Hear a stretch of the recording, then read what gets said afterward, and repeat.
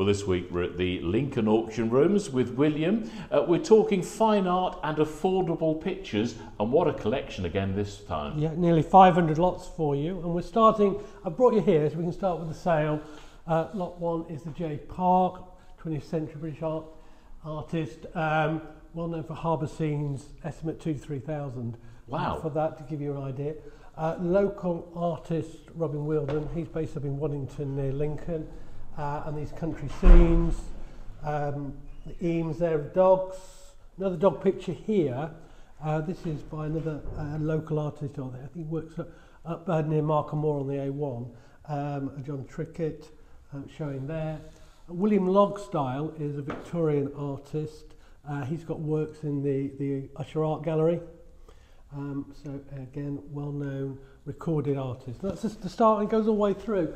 Um, from here, I put lot seven um, because there's quite a lot of portraiture work which I'm going to show. We have got a lot, haven't we? Yeah. It's a pensive fisherman. He's, he's worried about something. I He think is. I think he might have lost his boat. But, uh, that is the beauty of, of portraiture work. So He's lost more than his catch, hasn't he? I think there's something, something definitely missing there. But we talk about portraits, and as we carry on our walk through, we've got a huntsman here, uh, looking very noble on the horse.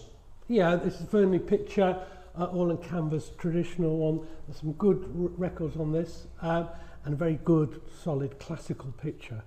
Um, Again, I know we said this last time when you were having the art sale that uh, you know you're extending it. You seem to be going into room after room. We've got various bits and pieces here. Uh, another portrait up here. What about this young lady who we're looking at behind us? yeah, that's uh, Darby of Wright, so a well-recorded artist, and again, a thoughtful picture of a young maiden looking wistfully into the water jug. Let's go into the main sale room because you've got portraits galore here, including a, a semi-nude I'm looking at at the top here. Yeah, 20th century, classical. So we, I've still I've brought it along here that we're now into the lot 60s um, throughout the sale. So um, on this one, the later one there. So that's a classical figurative nude. Um, we've got this portraiture work here.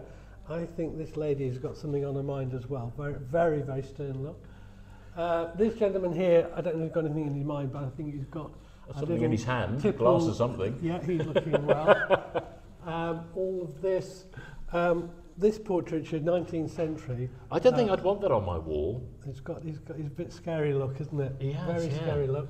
Um, a very thoughtful maiden here, um, just holding the, the, the nest with the chicks. Um, this one, I think, is very atmospheric. A Hungarian 20th century artist, and, and he's in that impressionistic mood throughout of, of this, this fruit market. Yeah. I love it. What I love about it is you look at it, but you're immediately drawn to her face, aren't you? There are sort of three main characters in this one. I think it's very, very stylistic is that it's art, art impressionistic all the way round, but the focal is on the three um, faces there, each one with the, with the detail coming out. So it gives it a, a, a very, very, very wonderful stylistic quality to it. You need a fairly big house to take this one, though. This is more traditional, isn't it? And I think this gentleman probably did have a big house. he's Victorian, uh, so he's had his portrait uh, done, and he's looking very pleased for himself, isn't he? He is indeed. I love this, though, to round off, because you're immediately drawn to the eyes, aren't you? Well, I'm not an expert at uh, painting, but this is taking in some, some classical techniques of, of light and dark, and it draws you in uh, straight into the eyes. And little bits of white there just gives you that focal point and draws you straight in to what is looking a very thoughtful gentleman. Indeed, if you'd like to know more, go to the website goldingyoung.com.